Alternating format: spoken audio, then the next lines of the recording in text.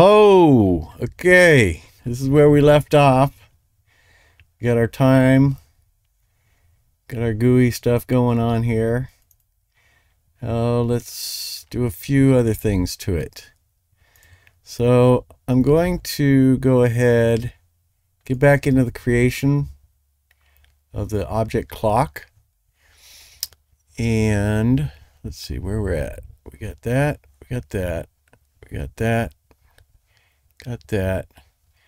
I'm gonna I'm gonna add a few more variables in here. Um, temp seconds equal second. I screw all these up. Temp sec equals sec second. Okay, I'm gonna add bell equals hour. Um, bell count will equal nothing equal zero um I'm going to go ahead and add this for right now. I'm not going to get it. This is going to be for when I, I'm just going to add that UFO. But once again, you could add whatever you want running around in the background once in a while. Aesthetics, aesthetics. Set it to random range 300 and to 600. And holiday text equals empty string. This is just going to be for an example of if holiday comes up, you can have it do cool stuff. And I'll say sound on equals true. And that's, I'm going to make it so that you can turn off the sound so you don't hear the clicking because we're going to add the, the minutes or the seconds and it'll chime on the hour. Okay, so we need, let's see, let's get back into our draw. You're drawing that, drawing that, drawing that, drawing that. Uh, full time. And I'm gonna have, I'm gonna give it a little um, kind of a, a drop shadow. I'm going to drop shadow everything, a lot of stuff. I'm going to go, let's see, we want, that's the nums. So I'm going to copy sprite nums being drawn. And I'll make that, and I'll just make it uh, black. See, black but it will be offset by two pixels. Y plus two. Separate these out a little bit. Uh, the ring, I won't do it to. Do it to everything else. Hour. Just change that color to black. Oops, black and all of them be offset by two.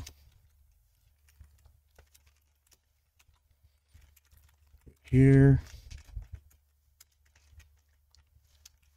And the you could change the alpha too, so it's like a, a less intrusive. It could be like 0.8 or 0.7, something like that. So it's kind of a faded color.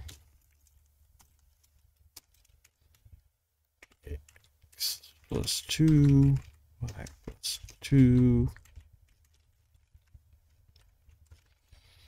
seconds.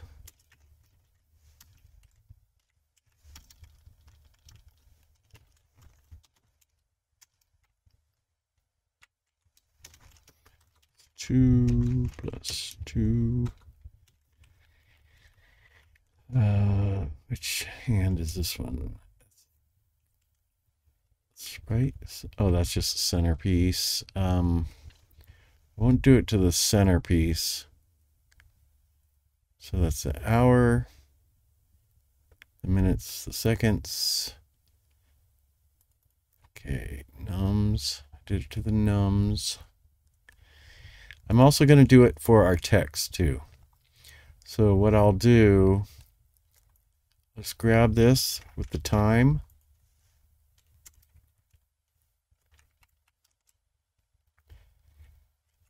Um, make that black. And I'll offset this one. Since it's going negative, it's got to go minus 48. And this will just be x plus 2. And then for the date,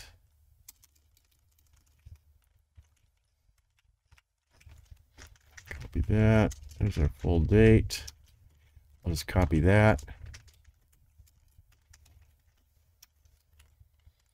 And once again, it's going the wrong way. So we'll do 173 plus 2, make this black.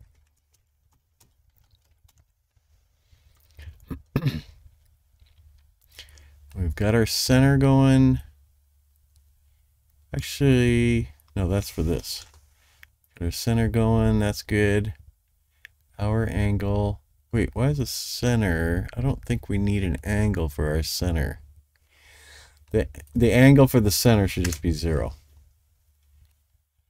That's a mess up. And I think that's, well, hell, while we're here, we're not utilizing it yet, but I'm going to go ahead and write it. If holiday text is not equal to nothing,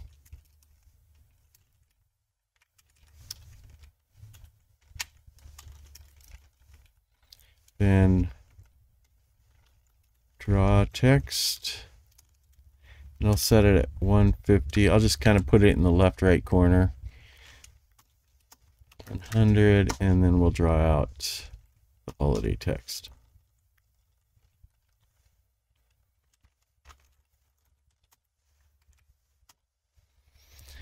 I think that's all we really need in here Okay. We're done with the draw at this point. But we got a bunch of work to do in the step. So we got that. We got the hour. Let's go ahead. I'm going to grab, let's see, I got to go get it. The audios. I'm going to grab the audios. Those will be in the assets folder. And I'm just going to put those in my sounds. And I'll just set them to compressed sound bell, sound tick. And I'll just compress not streamed. I mean, if you want them streamed, you can, but seems a little silly. Okay, so step Now, when we made,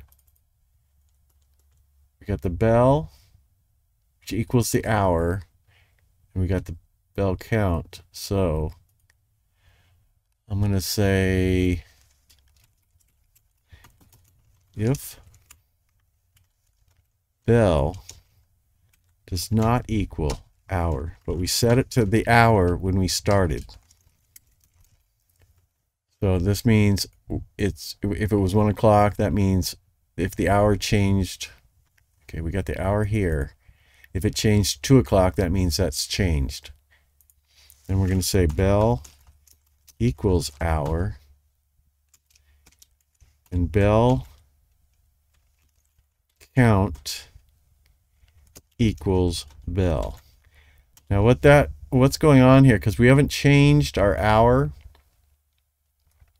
because we're bringing in the hour. Remember, the hour is from 0 to uh, 24.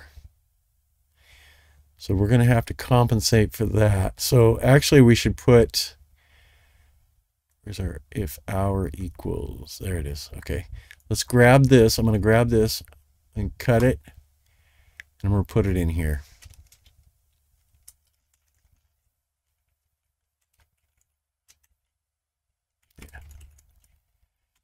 So if the bell hour is over 12, it goes to negative 12 here.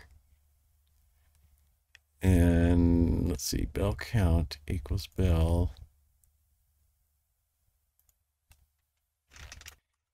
No, I'm doing that wrong. Okay, let's yank this back out of here. Let's put it under here. That doesn't make sense. Okay, but we are going to say if bell hour is larger than 12, bell count will minus equal 12. Just like this here. Um, and we'll go down here and say if sound is on, alarm zero equals one. Okay, so if it's a new hour, it's going to call to the alarm zero.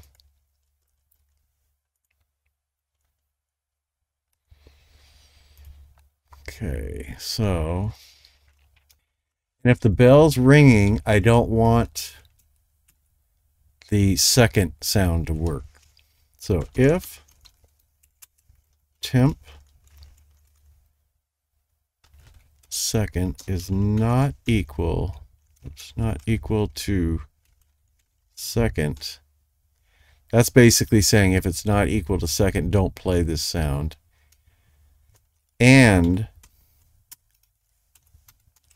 bell count equals zero.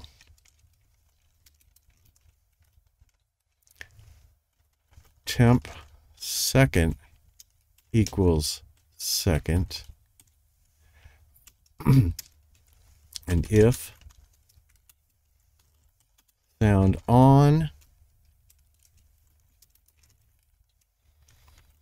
audio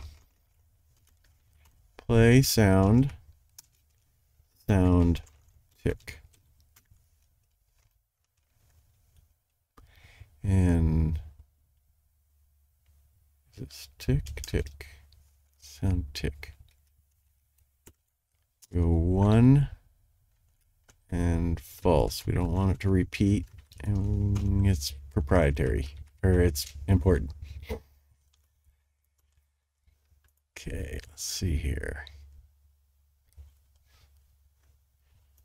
Got time, current year, month, day.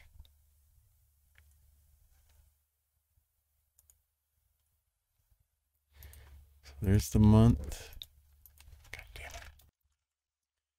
So now I'm going to also add,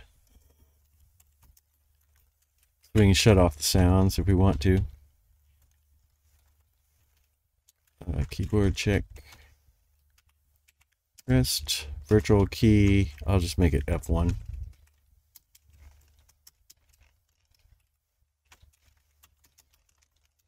And if sound is on.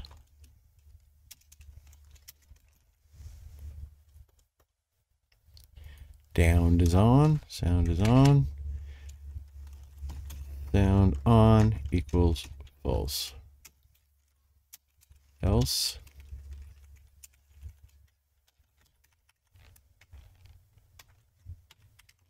It's true.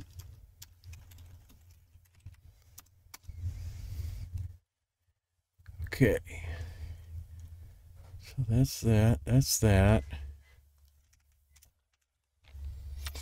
So let's go ahead and make alarm zero. I'll say if Bell count is larger than zero. Audio play sound. Sound bell. One and don't repeat. So it's larger than zero. See, we've turned it into, where'd it go? Um,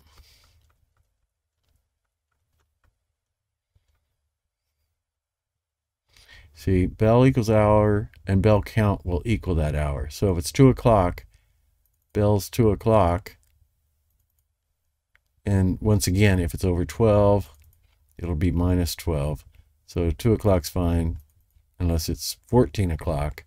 Then it will change here to 2 o'clock. So in here, if bell count is larger than 0, then alarm 0 equals 120. So it'll chime every two every two seconds. And then we'll reduce the bell count until it's zero and then it'll stop. So it should play whatever time it is.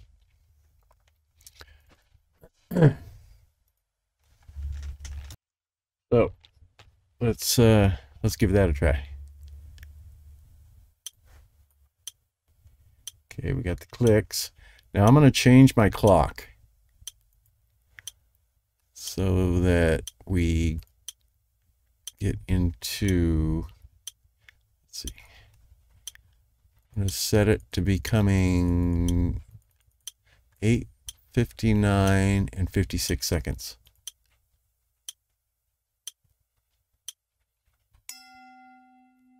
One, two, three, four, five, six, seven, eight, nine. And then the ticks start kicking in again. Okay, so that worked. That's cute. Now let's, also I wanted to look at, make sure all the shading is working good. This kind of shit has the drop shadows going on now. So that looks good. And you can see the text a little better with the drop shadow. Okay. So let's add our UFO. Let's go ahead and make an object, create object, and just call it object UFO. Oops. And like I said, you can put anything in here you want. I'll grab our UFO sprite. And in here, we'll add our create. And it's pretty simple code. So I'm going to say x equals i integer random. Random. It'll be between 0 and 1 if x equals 0, x equals 0, direction will equal random range. And I'm going to do it kind of a minus 22.5 and 22.5. So it's just kind of a weird little angle so it makes sure that it goes into the middle there where the where the clock is. Else do that that in there. Otherwise we're it the X is gonna be the room width. And the random range will be 157.5 and 202.5. And we'll just set the Y just to the room height divided by 2. Uh, we'll set a random speed, random range. I'll just go 0.5 and 3. Okay. Um, I'm going to give him a little shadow too. So I'm going to have to draw him. So in the draw, I will say draw sprite um, extended sprite UFO 0 x plus, I'm just going to make it one, one offset, y plus one. One, one, zero, and it'll be black. And I'm going full bore on the alpha. And then, I get something wrong here? No. And then, then just draw self. Because when you use the draw, you have to you have to draw yourself, draw your sprite. Otherwise, it's not going to show up, or may even cause an error. Okay, and all we have to do is add other outside the room, instance destroy, uh, and then I'm going to say with object clock. We'll just have it uh, start up again. Alarm 0 equals random range. Once again, 300 to 600, like we did in the create of, of the object clock. Oops, alarm. I just do. There we go. Okay, that's all good. But in our object clock, did I set that right? Hold on.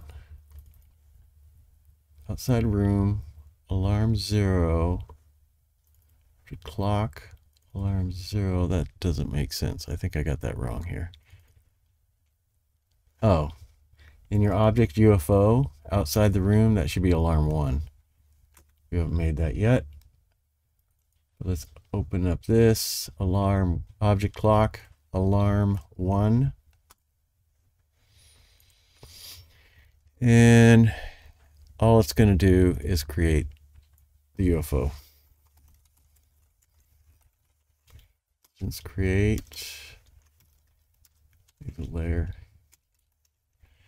We'll set it to X, Y, because it's going to take care of where it's going to be.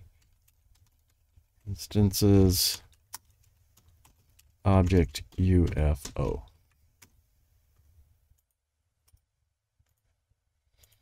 Okay, let's give that a try. It's always fun when it crashes though. Okay, there's our clock going. I have to wait a few seconds for a UFO to show up. There he comes. There he is. You could even add sound when he's in, when he's in that area, like make little noises. If you wanted to. I'm not going to do that. Okay, I wanted to do one more example uh, did I write that code? I think I did. Yeah, holiday text. Um, let's get into the step. And this is just a small little example.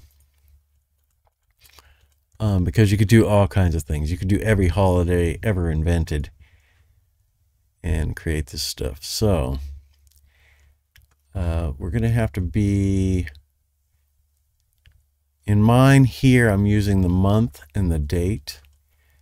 So I got to be, nothing can be converted or anything like that. So let's see, here's our month and date here. So I'm going to, right under here, I'm just going to say if month equals 1 and date Mean, you could do birthdays, you could do all kinds of things. You could, I would create a database of all the holidays and special days that you want to utilize and have it say crazy stuff. So, say if the kids have to go to bed at a certain time, set it so every night it goes off and and it has their mom yelling at them or something. Or if it's time for dinner, you could have them have it set off at five o'clock at night to time for dinner. Okay, so all I'm doing is changing the holiday texts here. So if it's month one, January, and the date is first, what is that? That's Happy New Year's. And all I'm going to do is put text up for it. But you could have fireworks going off and all kinds of crazy sound effects. So here's month 12, date 25th. Screams Merry Christmas.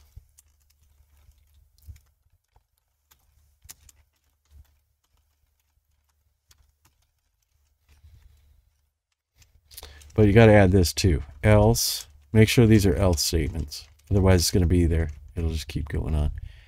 Uh, else, it'll equal nothing. Because if the day changes, that's not going to change. well, maybe it would. But this is safe. Okay, so let me give this a try.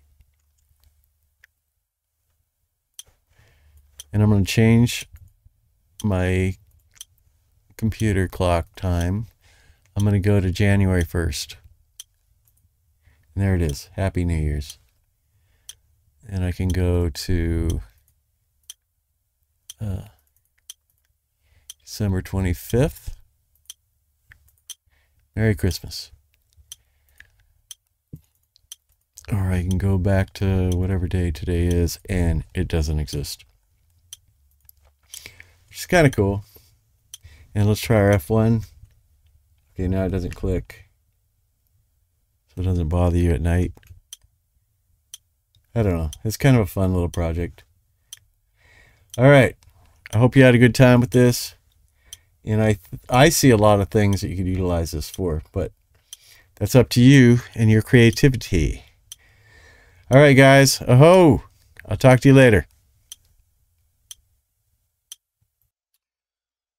Okay, um, there was one last thing I wanted to add to it is, and you don't have to do this, but I'm going to go into, I'm just going to drag in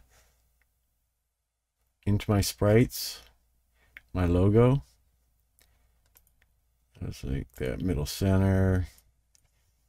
So frames, let's just call it sprite logo.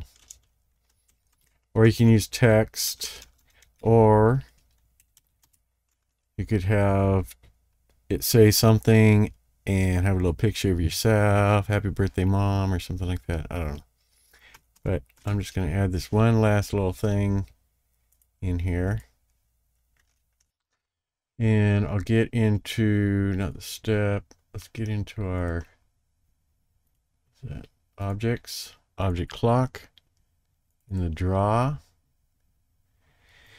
And i am just going to put it at the very top. um, draw sprite extended. Sprite logo. Just set it X. Um, Y and I'll just add plus 100 so it sits down a little low. And with my sprite, it's kind of big, but so I'm going to cut it in half. I'll put its X and Y size to 0.5. Uh, rotation, the white, and alpha 1. Just, I'm basically going to show, why am I getting that error right there? I can fix draw sprite extended 9. Got, I'm missing something. Oh. Okay. That should do it. Okay. Okay, let's give that a try. and there it is. My logo's right there. And you could put anything in there. Anything like a little message or something like that. And it could change too by the day if you want. But I was just showing that. Okay. So we'll call that good. Okay. Aho!